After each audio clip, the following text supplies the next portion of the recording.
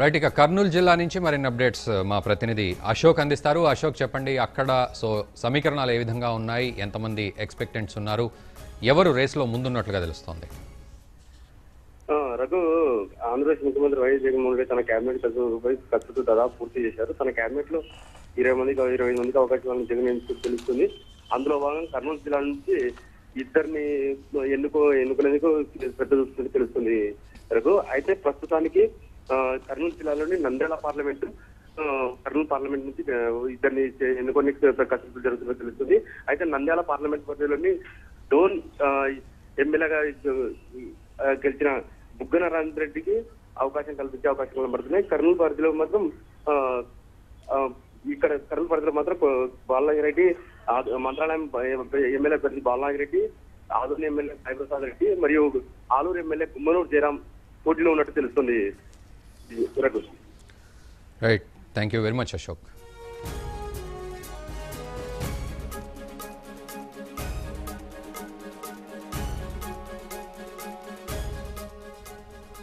right ఇక మరిన్ని updates Anantapuram నుంచి మా ప్రతినిధి నాయుడు అందిస్తారు ఫోన్ లైన్లో. నాయుడు చెప్పండి అక్కడ ఎంతమంది ఎక్స్పెక్టెంట్స్ ఉన్నారు? ఎవరెవరు రేస్లో ముందున్నట్లుగా తెలుస్తోంది?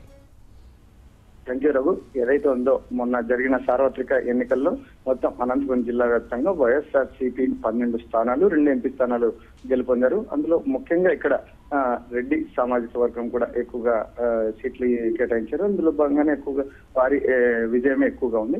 అందులోనూ ముఖ్యంగా ఇప్పుడు ఎందుకంటే సీనియారిటీని కులబద్దగా తీసుకుంటారా? లేక ఇప్పుడు కొత్త పాత కొత్త కలయికగా జగన్మోహన్ రెడ్డి నాయకత్వంలో తన జంబో టిమ్లెట్ తీసుకుంటా అనేది జిల్లా అనంతపురం జిల్లా వ్యాప్తంగా తీవ్ర చర్చ జరుగుతోంది. ఎందుకంటే మొత్తం మీద ఇక్కడ సీనియర్ ఎంపీగా పనిచేసినట్టు అనంత వెంకట్రామరెడ్డి ఎందుకంటే గతంలో ఎంపీగా పనిచేశారు. ఇప్పుడు ఎమ్మెల్యేగా అనంతపురం ఎమ్మెల్యేగా పోటీ చేసి విజయం సాధించారు.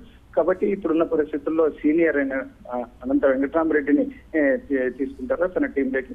ఆ, కాకపోతే ఇక్కడ బీసీ కోటా కింద శంకర్ నారాయణ పెనుకొండ నియోజకవర్గం నుంచి గెలుపొందినటువంటి శంకర్ నారాయణ గతంలో కూడా జిల్లా అధ్యక్షుడిగా కూడా వైఎస్ఆర్సీపీ పార్టీ జిల్లా అధ్యక్షుడిగా కూడా చేశారు.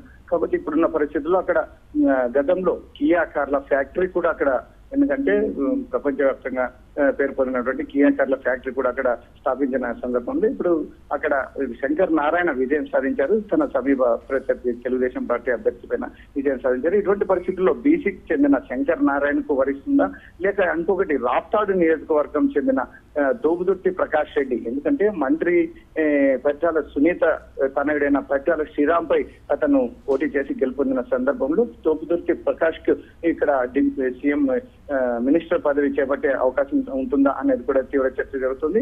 ఇదే అంశం మీద మొత్తం మీద ఎందుకంటే పన్నెండు మంది ఎమ్మెల్యేలు గెలిచిన సందర్భంలో జిల్లా నుంచి ఇప్పుడు ప్రస్తుతం మొత్తం మీద ఇద్దరిని తీసుకుంటారనేది జిల్లా వ్యాప్తంగా ఖచ్చితంగా చర్చ జరుగుతున్న అంశం. ఏదైతే ఉందో మొత్తం మీద బీసీ లేదంటే ఓసీ తీసుకుంటారా? లేక ఓన్లీ బీసీని తీసుకొని తర్వాత రెండోసారి రెండో దఫా ఆ, కేబినెట్ విస్తరణలో భాగంగా మరొకరికి అవకాశం కల్పిస్తారా?